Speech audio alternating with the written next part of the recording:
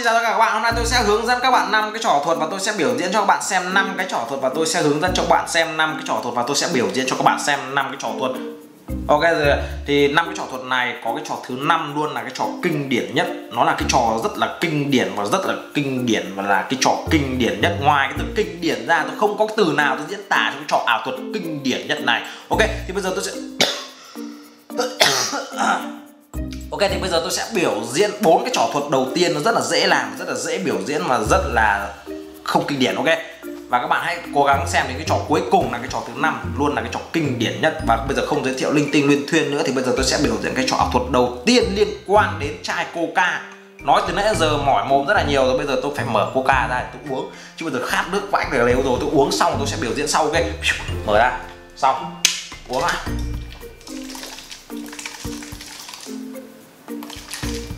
What the fuck? Thế méo nào nó không ra nhỉ? Mà à. Tôi đã làm ảo thuật đâu mà Thế méo nào nó không ra? What the fuck cái chai coca? What the fuck cái chai coca? What? Anh rồi Tại sao nó không ra nhỉ? Đấy, các bạn thấy không? Những cái người làm ảo thuật nó rất là khổ. Nó khổ sao? Nó vừa khổ tâm mà nó vừa khổ uống. Đấy khổ tâm để làm ảo thuật cho các bạn xem, nói mỏi hết cả mồm, ho khản cả giọng. Bây giờ chưa kịp làm ảo thuật thì tự nó làm mẹ nó rồi. Nước nó không ra thì uống thế méo nào được. Này. Đấy, khổ. Nước vào mồm rồi không uống được. Thế uống kiểu gì? Bây giờ khát lắm rồi. Nói mỏi hết cả mồm, khản hết cả tiếng, ho ho ho làm sao nhỉ? Ho mất hết cả nước, bọt mất hết cả hơi. Bây giờ muốn uống mà không uống được. What the fuck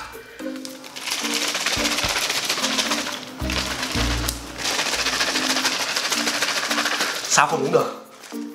Nước không ra. Mày chơi tao à? Mày chơi tao à? Mày chơi tao à? Mày chơi tao à? Mày chơi tao à? Chai coca. Hả? Tôi khát lắm rồi. Tôi khát lắm rồi.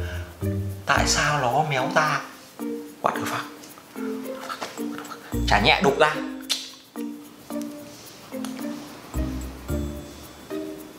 Cho tao một giỏ thôi cũng được. Một giỏ thôi. Này, đừng có bảo tôi điên nhé.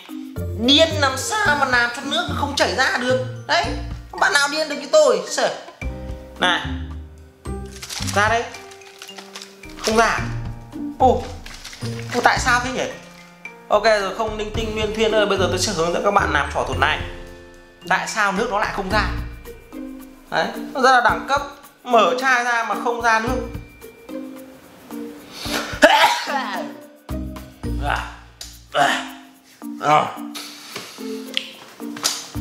cái lý do tôi hắt xì hơi đó chính là cái mùi keo 502 tôi dán cái cái cái, cái này vào này. này cho bạn xem này tôi dán cái đầu này vào bằng keo 52 với lại bằng một cái miếng à, trong suốt. Nên là đổ nước nó sẽ không ra nó sẽ bị chắn lại như này. Nha để sát mũi nó có mùi 502 và nó rất là kinh là hít vào nó hắt xì hơi đấy, và cái trò thuật đầu tiên tôi đã làm xong và tôi đã hướng dẫn xong đó chính là liên quan một cái miếng à, trong suốt như này, các bạn cắt nó vừa bằng cái cổ chai, sau đấy thì dính nó vào đây.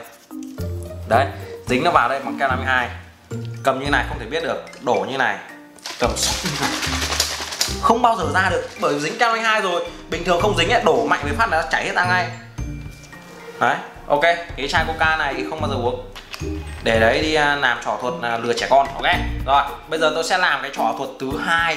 Cái trò thuật nó không kinh điển đâu, nó chỉ rất là bình thường thôi. Và các bạn hãy cố xem cái trò thứ năm luôn là cái trò kinh điển nhất, mà kinh điển nhất rồi không kinh điển nữa. Bây giờ tôi sẽ làm trò thứ hai. Trò thứ hai liên quan đến những quả bóng bay màu đen như thế này.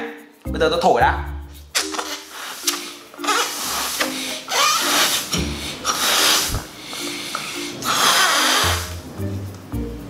Quả bóng bay làm sao nhỉ?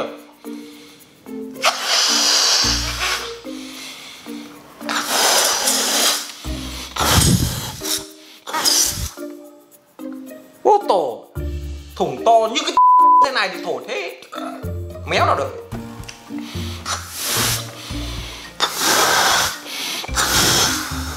Đấy làm ảo thuật cũng khổ.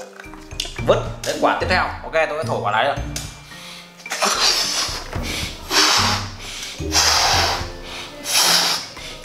rồi à, tôi sẽ làm cái trò thuật liên quan đến quả bóng bay như này. Là trò thuật thứ hai cho các bạn xem. Đây là trò thuật thứ hai, ok? Bây giờ tôi sẽ phải đi lấy đồ để tôi biểu diễn cái trò thuật này. Bây giờ tôi phải đi lấy đồ ok, tôi đã lấy đồ xong. Nó liên quan một cái kim như này. Bây giờ tôi sẽ đâm vào quả bóng bay này. Bình thường đâm vào ấy, thì nó có nổ không? À đồ.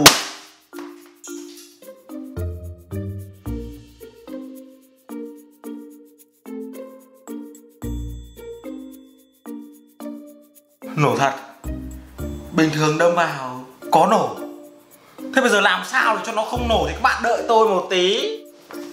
Rồi, bình thường đâm vào nó có nổ. Thế thì bây giờ đâm vào có nổ không? Tôi sợ nổ lắm. Tôi sợ nổ lắm.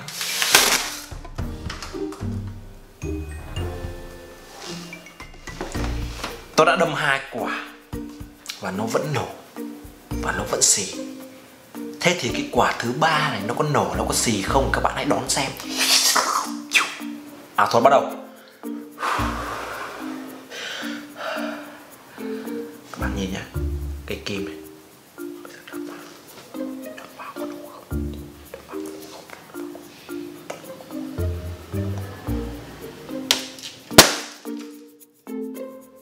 Lại nổ.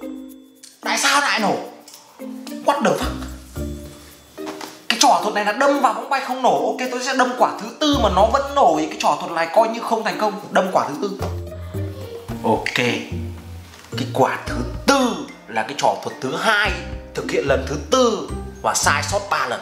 À không phải sai sót 3 lần mà là không thành công 3 lần. Thế cái lần thứ tư này tôi phải thổi bé vì sợ nó nổ, nó thổi bé thôi, ok? Bây giờ nhá, kim này. Kim này rất là sắc và rất là nhọn. Bây giờ đâm. Đâm. Đâm đâm các bạn nhìn nhé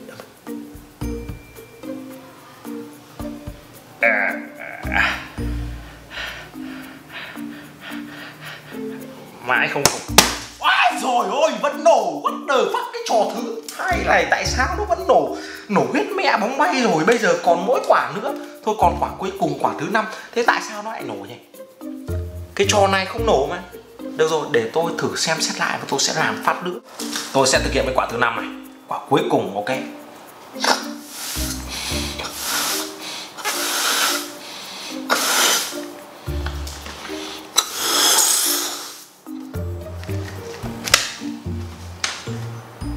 Quả thứ năm Mấy cái quả thứ năm mỗi cái chai đầu tiên. Thế cuối cùng này, không làm được cái gì cả.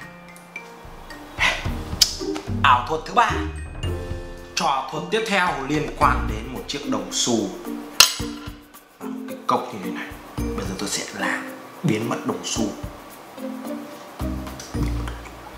Trong cái cốc này không có cái gì. Bây giờ tôi sẽ làm biến mất cái đồng xu các bạn tôi không khoe người, không khoe body body chả có cái gì đâu, nhưng mà tôi cứ cởi áo ra tôi tôi biểu diễn cái trò thuật này, ok? Cho bạn xem nhá. Cái đồng xu này, nó vẫn còn đây nhá. Bây giờ tôi đậy vào cái cốc này này. Tôi đậy vào cốc nhá. Giờ tôi cầm cốc này. Tôi nhấc sang bên này nhá. Ok. Bây giờ cái áo tôi bỏ ra này. Cái áo bỏ ra nhá. Áo bỏ ra này đồng xu đâu? Đồng xu không có trong cái áo nhé, ở đây cũng biến mất. Nè, à? ở đây biến mất. Thế tại sao nó lại biến mất? Thế tại sao nó lại biến mất?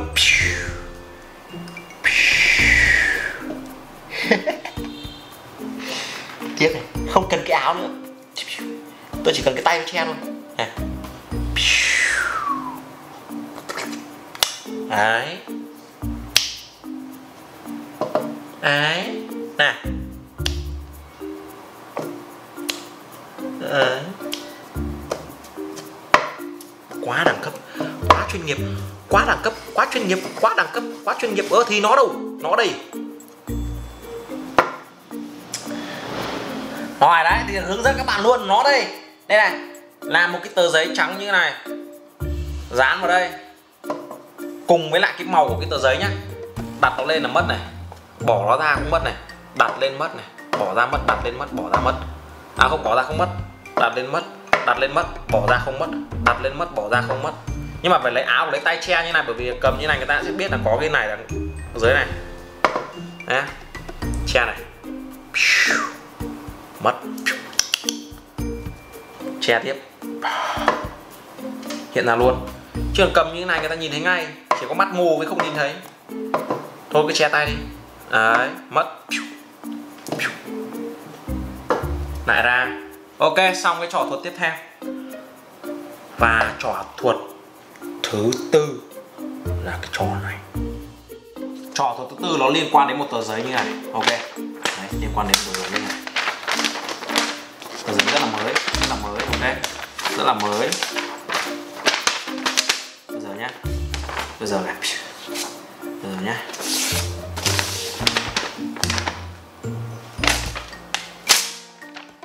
Dạ, tôi ra đấy, tôi xé từ đây ra. Bạn nào biết rồi đừng có cười nhé. Biết rồi cứ xem bình thường đừng có cười. Rồi tôi xé ra. Bây giờ tôi sẽ gấp vào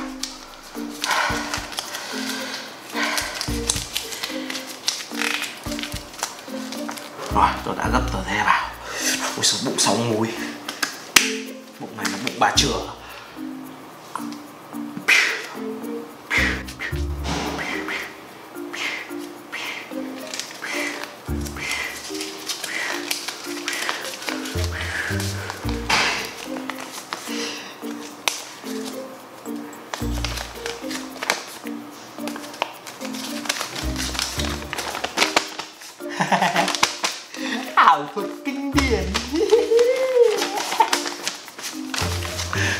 ok rồi.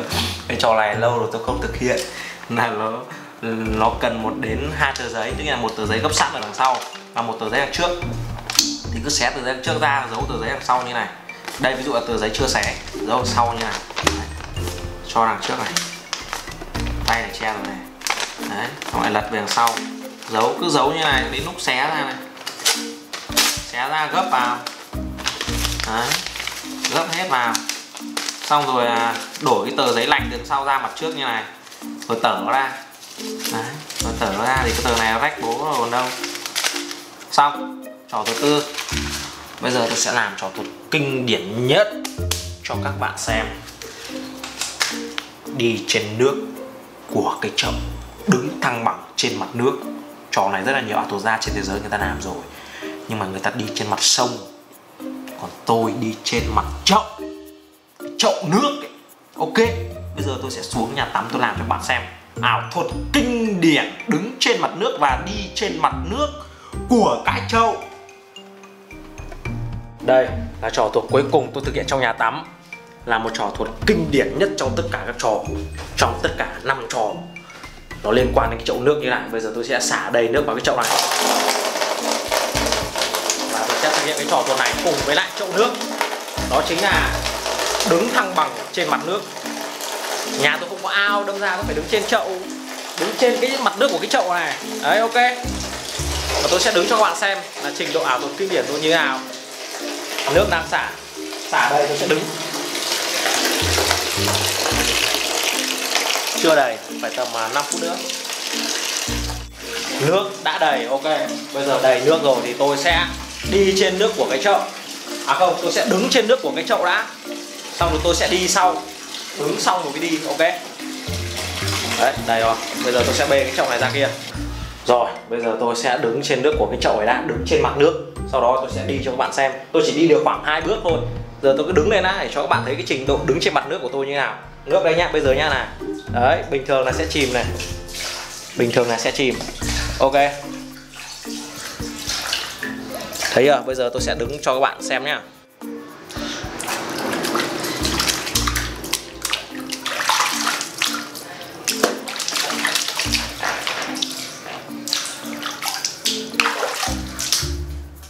Đấy, các bạn thấy sao? Cái trình độ đứng trên mặt nước của tôi quá đẳng cấp và chuyên nghiệp.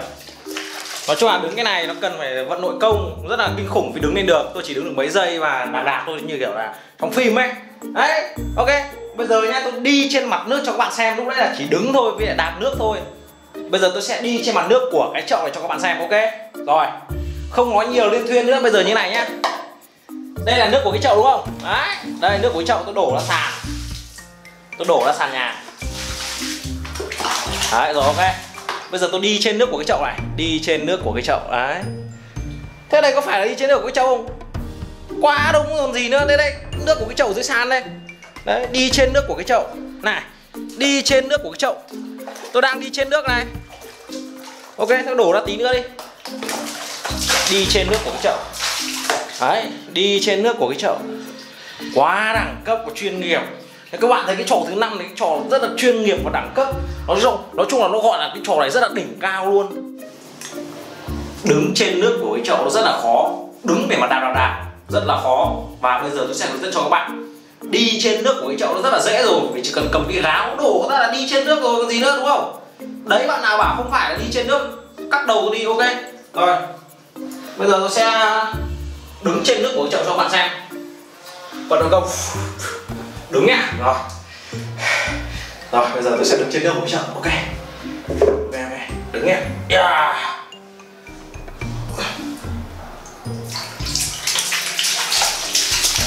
đấy tôi đang đứng trên nước của cái à, xong. Tay là tôi phải giơ trên để tôi vận động công. Như này thì tôi đứng được trên nước. Chứ tay tôi mà để như này không đứng được. Này bây giờ tôi để như này nhá. Dạ không thể đứng được. Nhưng mà tôi phải giơ tay lên trên này vận động công này thì mới đứng được này. Bây giờ nhá. Thử giơ tay vận động công tiếp phát nữa.